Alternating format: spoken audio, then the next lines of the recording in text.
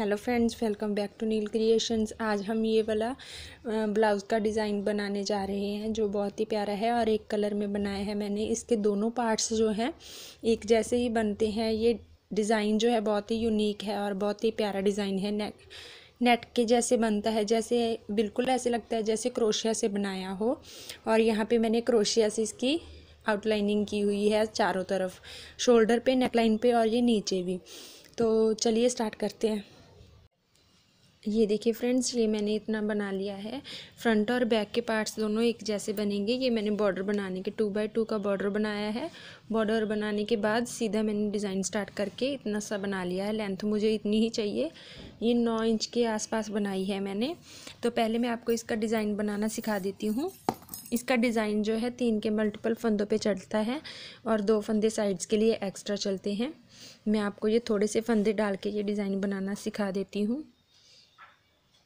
इसके लिए मैंने फिफ्टीन फंदे लिए हैं plus two extra seventeen total फंदे लिए हैं। तो उसके लिए हम क्या करेंगे? ये डिज़ाइन सीधी साइड से डलेगा। हम सीधी साइड में हैं।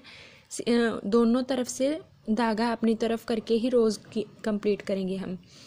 पहली रो में ऐसे पूरे रो के फंदे जो हैं, दो दो बार बल दे के हम ऐसे दो बार लपेटेंगे और सारे फंदों को ऐसे ही बुन लेंगे। ऐसे करके।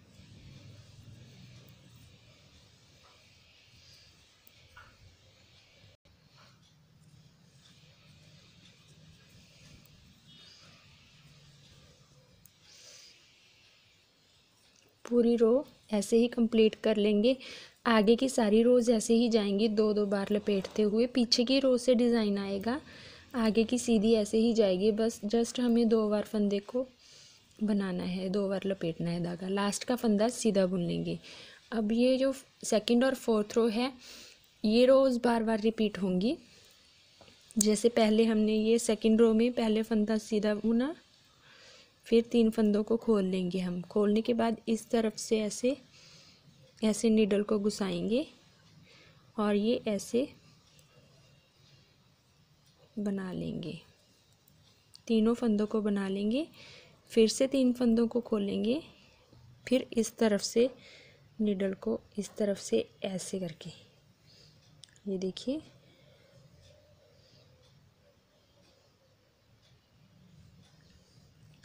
लाइट के कारण आपको दिख नहीं रहा था, इसीलिए मैंने ऑफ़ कर दी। ये देखिए, ये तीसरा फंदा जो है हम पहले लेके आएँगे। इस तरफ़ से ऐसे तीनों को इस वाली निडल में ले आएँगे और एक एक करके बना लेंगे ऐसे। ये दो स्टेप्स हैं जो ध्यान देने वाले हैं। इधर वी बनेगा, बस यही मेन है। पहले दो, तीन फंदे खोल लिए, फिर इस तरफ़ से एक बार इस तरफ़ से नीडल को घुसाएँगे। ये देखिए, ऐसे। फिर तीन फंदों को खोला और फिर पीछे से हम चेंज कर लेंगे इसकी साइड एक बार पीछे से चेंज करेंगे, एक बार आगे से। तीनों को लाइन वाइज बुन लेंगे। ये दूसरी रो है हमारी। ऐसे।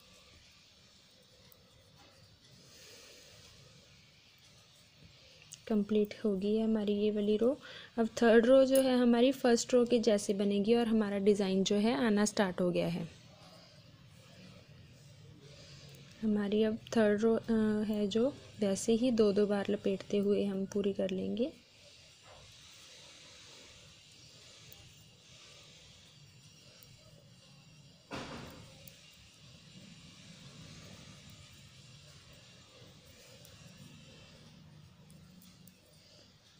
ये थर्ड रो है हमारी। फोर्थ रो में थोड़ा सा चेंज होगा, वो मैं आपको दोबारा से बता दूँगी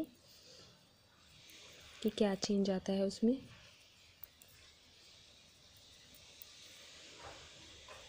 लास्ट का फंदा हम सीधा बुन लेंगे एक। अब आ जाइए फोर्थ रो पे। फोर्थ रो भी वैसे तो सेम है। आपको थोड़ा सा डिफरेंस है जो बता दूँगी। जैसे हमने तीन फंदे खोले, जो हमने सेकंड वाली रो डाली थी, उसमें हमने स्टार्टिंग के तीन फंदे इधर से डाल थी नीडल अब जो फोर्थ रो आ गई उसमें हम पीछे से डालेंगे।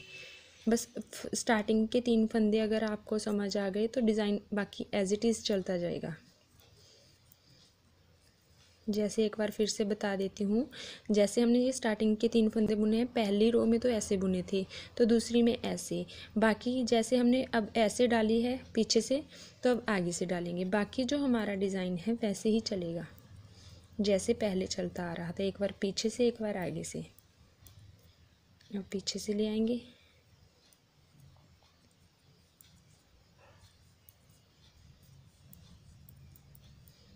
आगे से।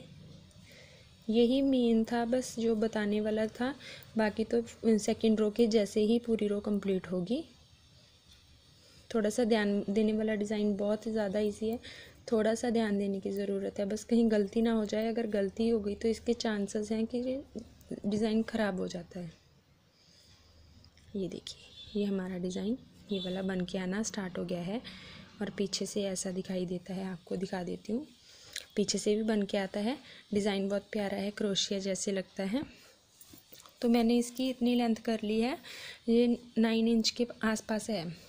नाइन इंच के बाद हम क्या करेंगे? इसकी कटाई डालेंगे। पहले हम चार एक फंदा बुना, दूसरे को ऊपर से निकाला, फिर तीसरा बुना, दूसरे को ऊपर से लाए ऐसे करके हम तीन फंदे जो हैं बुन लेंगे। बाकी की पूरी रो ऐसे ही बुनते जाएँगे। ये मैं पूरी रो ऐसे बल दे के कंप्लीट कर लेती हूँ, फिर आपको दिखाती हूँ। ये देखिए, हम लास्ट में आ गए हैं। आपको एक बात लास्ट में बताने वाली थी। ये लास्ट के चार फंदे हम, अभी तो पांचवा है, इसको तो हम दो बार बना लेंगे।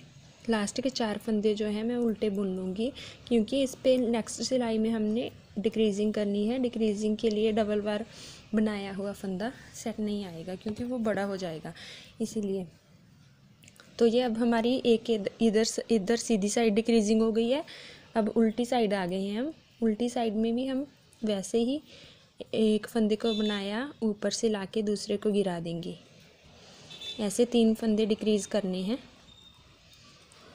और ये तीन तीन फंदे डिक्रीज़ होने के बाद इनको हम तीन को खोल लेंगे। जैसे हमारा डिज़ाइन चल रहा है, हम वैसे ही बना लेंगे। मैं ये वाली रो पूरी कंप्लीट कर लूँगी। कंप्लीट करने के बाद आपके साथ दिखाती हूँ। वैसे मैंने आपके साथ तीन डिक्रीजिंग और टोटल अभी तीन डिक्रीजिंग करनी है। एक तो होगी दो और करके, फोर्थ डिक्रीजिंग में थोड़ा सा चेंज आएगा, मैं उसमें आपको दिखाऊँगी। तो मैं ये कंप्लीट कर लेती हूँ तब तक। ये देखिए फ्रेंड्स, ये मैंने तीन बार डिक्रीजिंग कर ली है। एक, दो, तीन, हमारी पाँच डलेंगी टोटल। दोनों साइड मैंने तीन तीन कर ली हैं। तीन तीन डिक्रीजिंग करने के बाद मैंने ये बीच के तेरह, बिल्कुल सेंटर वाले तेरह फंदे हम छोड़ देंगे। एक इधर मार्कर लगा लिया, एक इधर, क्योंकि ये तीनों हमने डिक्रीज़ करने हैं इस वाली रो में। तो अब हम क्या करेंगे? अब हम हमारी रो स्टार्ट करते हैं। रो स्टार्ट करने के बाद मैं आपको एक सा, एक एक तो इधर डिक्रीजिंग होगी हमारी। ये देखिए, ये तीन फंदे चाहे तो आप सीधे साइड से डिक्रीज़ कर लें, सीधे बुन के चाहे उल्टे। एक, दो और ये तीन।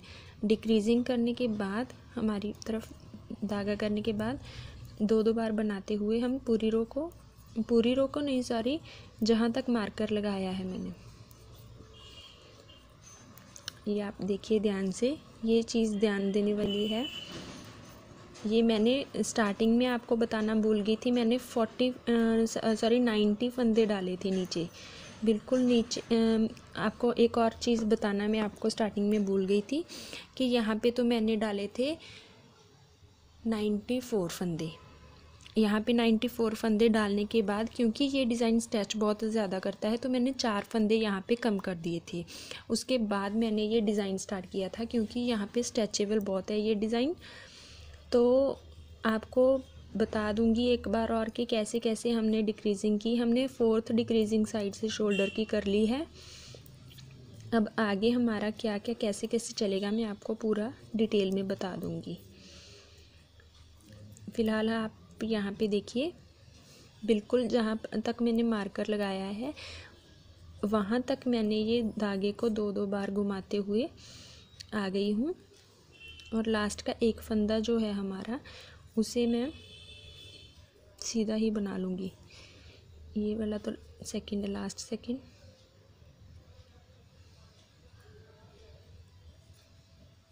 ये इसको दो बार घुमाए घुमाया। लास्ट का एक फंदा हम सीधा बना लेंगे। इसको निकाल देंगे अब। अब यहाँ तक तो हमारा एक शोल्डर का हो गया। अब दूसरी साइड हमारा दूसरे शोल्डर का होगा। तो क्या करेंगे कि पहले थर्टीन फंदे जो है हमारे बीच वाले, उसको हम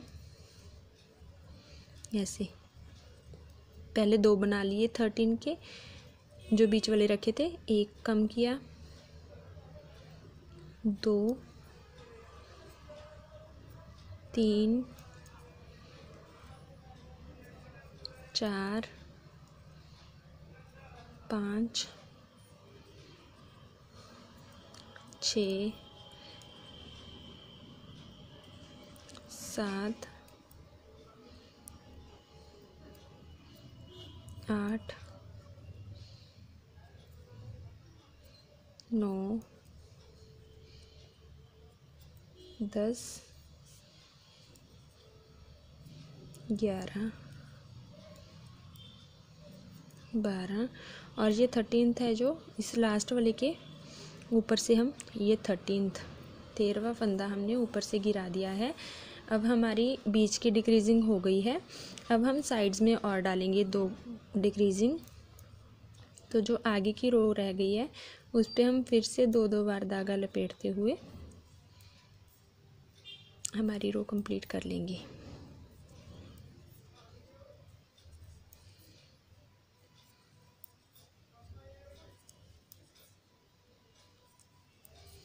डिक्रीजिंग करते वक्त आपको इसमें ज़्यादातर हमने तीन तीन की डिक्रीजिंग इसी तरीक, इसीलिए की है, ताकि हमारा डिज़ाइन सेट चलता रहे।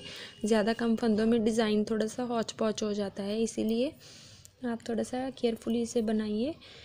अब हमारे ये दोनों तरफ़ के शोल्डर्स जो हैं अलग अलग हो गए हैं, क्योंकि बीच के ये कम हो गए हैं फंदे। तो ये इधर हम दोबारा से दूसरा धागा लगाएँगे, दूसरे शोल्डर को बनाने के लिए।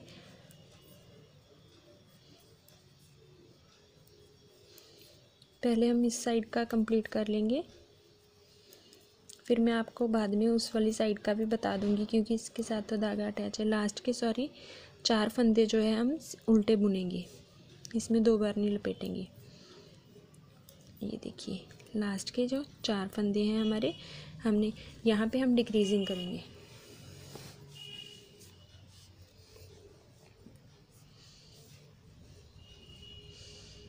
ये डिक्रीजिंग हमारी तीन फंदों की होगी फिर से। ये इधर, इस साइड से चौथी डिक्रीजिंग है हमारी। पाँच करनी है अभी हमने, एक और करेंगे। दो और ये तीन फंदे हमने उतार दिए। तो ये मैं यहाँ तक ये हमारे डिज़ाइन के अकॉर्डिंग यहाँ तक जो हमारा हमारा कट हो गया है, यहाँ तक बुन लेती हूँ। आगे की रो में आपको फिर से दिखाती हूँ कि आगे क्या होगा। ये देखिए हमारी वो वाली, जो फोर्थ डिक्रीजिंग वाली रो थी, वो हमारी कंप्लीट हो गई है। अब इस साइड से हम क्या करेंगे? इस साइड से फिर से पहला ऐसे ही उतारा, तीन फंदे डिक्रीज़ करेंगे फिर से। एक दो और ये तीन। तीन फंदे डिक्रीज़ करने के बाद धागा अपनी तरफ़ करके वैसे ही हम सारे फंदे बुन लेंगे।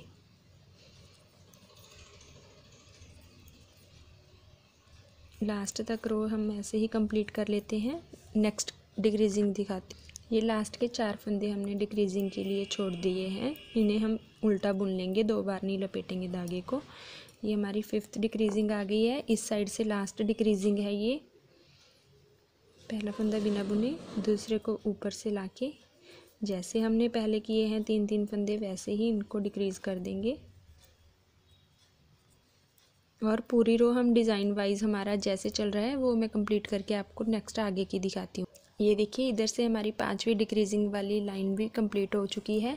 इधर से अभी एक और डिक्रीजिंग हमारी बाकी है, वो हम डाल लेते हैं लास्ट तो मैं आपको इसके बाद दूसरी साइड वाले शोल्डर का भी थोड़ा सा बता दूँगी कि कैसे क्या करना है। ऐसे करके हम तीन फंदे डिक्रीज़ कर देंगे। ये थर्ड फंदा है। तो जो बाकी की हमारी रो रह गई है, उसमें हम, हमारे ये बता देती हूँ कि कितने फंदे रह गए हैं। कंप्लीट कर लूँ, ये लाइन थोड़ी सी है। बस इसमें अब लास्ट के चार फंदे जो है हमारे, उनको हम ऐसे नहीं छोड़ेंगे बिना, दो बार धागा लपेटे क्योंकि हमारी उधर की डिक्रीजिंग जो है कंप्लीट हो चुकी है। अब हम पूरी रो कंप्लीट करेंगे।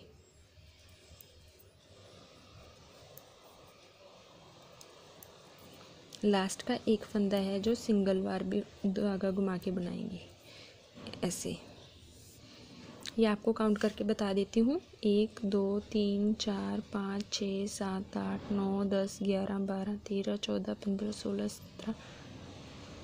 ये सेवनटीन फंदे हैं हमारे, जो बच गए हैं हमारे पास। और अब इसकी मैं लास्ट की जो रो है, इसमें कोई डिक्रीजिंग नहीं करूँगी। जैसे हमारा डिज़ाइन चल रहा है, वैसे कंप्लीट कर लेती हूँ। फिर मैं आपको इधर वाली बता दूँगी। फिर देखते हैं आगे। ये देखिए, इधर की मैंने डिक्रीजिंग कंप्लीट कर दी है। हमारे ये यहाँ पे सेवनटीन फंदे रह गए हैं टोटल हमने अब क्या करना है, इधर भी मैं आपको डिक्रीजिंग बता देती हूँ थोड़ी सी कि कैसे कैसे करनी है। फिर आपको ये जो सेवनटीन फंदे रह गए इसके साथ हमारी छः सात इंच की जो भी हमारी जितनी रिक्वायरमेंट होगी, हम शोल्डर की लेंथ कंप्लीट कर लेंगे। तो मैं आगे आपको वो भी बताऊँगी, पहले हम इधर वाला कंप्लीट कर लेते हैं। ये देखिए, इस साइड हमारा डिज़ाइन जो हमारा जो स्टार्ट होगा, ऐसे धागा पहले हम लगा लेंगे यहाँ पे। जैसे पहले हम तीन फंदों को खोलते हैं और जिस साइड हमारे डिज़ाइन को जाना है, वैसे ही हम बना लेंगे। इस धागे को दबाते हुए बीच लगा लेंगे इसके। ऐसे।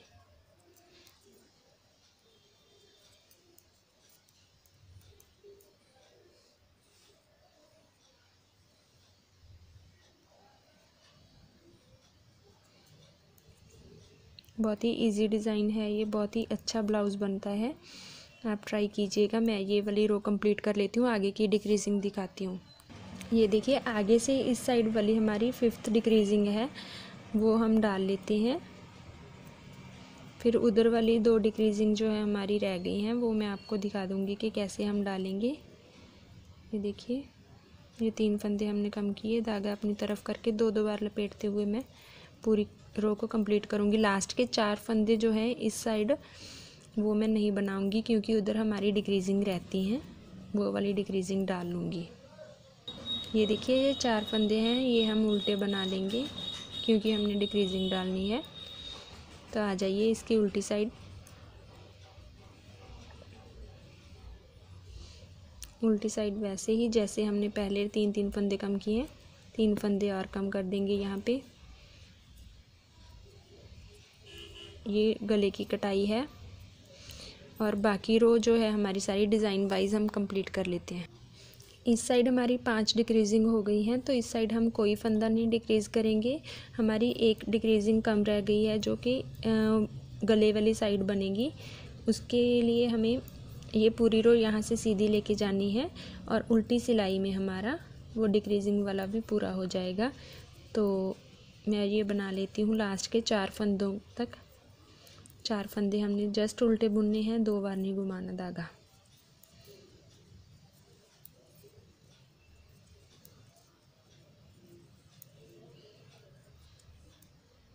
ये चार रह गए हैं, इसको हम सिंगल टाइप बुन लेंगे। यहाँ पे इस वाली डिक्रीजिंग के बाद हमारे पास यहाँ पे भी सत्रह फंदे रह जाएँगे, उस साइड भी सत्रह फंदे हैं। तो इन सत्रह फंदों से हम हमारे शोल्डर की डिक्रीजिंग हाँ शोल्डर की लेंथ जो है हमारी, वो कंप्लीट कर लेंगे। ये देखिए, ये हमारी लास्ट डिक्रीजिंग हो गई है और ये डिज़ाइन वाली लाइन में कंप्लीट करके फिर आपके साथ शेयर कर, आपके साथ ये इसकी पूरी डिटेल शेयर करती हूँ। ये देखिए, हमारी डिक्रीजिंग दोनों तरफ़ से पूरी हो गई है। अब आपको मैं इसका बता देती हूँ, फुल के कैसे हमने क्या किया था। नीचे से मैंने फुट नाइन्टी फोर फंदे डाले थे फ्रेंड्स नाइन्टी फोर फंदे डालने के बाद जब मैंने ये डिज़ाइन स्टार्ट किया तो मैंने पाँच फंदे कम किए थे, क्योंकि हमारा डिज़ाइन पाँच फंदे कम करके सेट आता था। मैंने वैसे नाइन्टी फंदे रखने थे तो जब हमारा डिज़ाइन में एक फंदा ज़्यादा हो रहा था, मैंने वो भी कम कर दिया, इसीलिए। तो ये एटी नाइन फंदों पर हमारा ये नाइन इंच का बन गया था। यहाँ तक मैंने नाइन इंच बनाया है, मैं आपको दिखाऊँ। ये देखिए फ्रेंड्स ये हमने यहाँ तक मैंने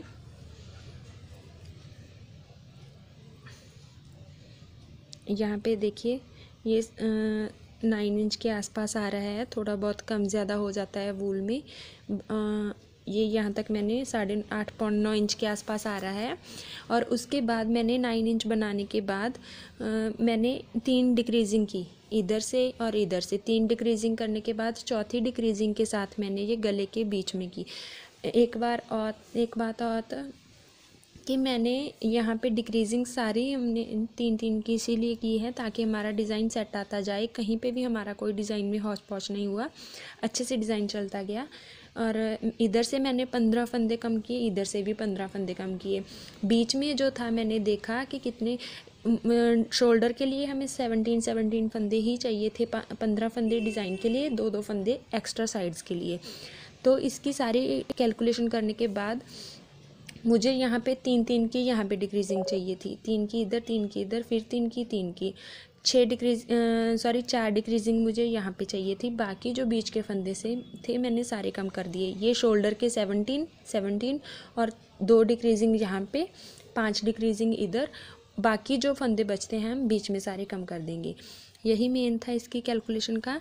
तो मैं इसका फ्रंट और बैक पार्ट एक जैसे बनते हैं, मैं दोनों के शोल्डर की लेंथ कंप्लीट कर लूँ, फिर आपको दिखाती हूँ कि कैसे हमारा डिज़ाइन बना। एक बात और कि ये मीडियम साइज़ तक के लिए बहुत है। ये और ये जो ब्लाउज़ है, ये नेबल तक ही आता है। ज़्यादा लॉन्ग नहीं अच्छा लगता। शॉर्ट ही अच्छा लगता है। तो ये मैं इसकी डिक्रीजिंग कंप्लीट कर लूँ। मैं आपको बाद में दिखाती हूँ कि कितनी डिक्रीजिंग की है। ये देखिए फ्रेंड्स ये मैंने शोल्डर की लेंथ कंप्लीट कर ली है। और दूसरा भी पार्ट मैंने बिल्कुल सेम बना लिया है। उसकी भी डिक्रीजिंग सेम ही हुई है। डिक्रीजिंग और शोल्डर की लेंथ कर ली है मैंने कंप्लीट अभी इसे ज्वाइंट करना बताऊँगी। उससे पहले मैं बता देती हूँ कि यहाँ तक तो मैंने ट्वेंटी डिज़ाइंस डाले थे ये वाले। और यहाँ से लेके ये ट्वेंटी सिक्स और डाले हैं। टोटल मैंने फोर्टी सिक्स डिज़ाइंस डाले हैं इसमें। और अब आपको इसका ज्वाइंट दिखाती हूँ कि ज्वाइंट कैसे करेंगे हम। इसके आपको मैं टोटल लेंथ भी बता देती हूँ कि कितना बना है ये। यहाँ से लेके नीचे तक। ये साढ़े सत्रह इंच बन गया है, सत्रह इंच के आसपास। ये देखिए। तो चलिए मैं आपको इसका बता देती हूँ कि कैसे आप इसे जॉइंट करोगे। इसकी इसकी और इसकी दोनों की सीधी साइड हम अंदर करेंगे। वैसे तो पहले भी मैंने अपने कार्डिगन्स वाले में शोल्डर को जॉइंट करना बताया है। ये देखिए, दोनों सीधी साइड्स अंदर हैं।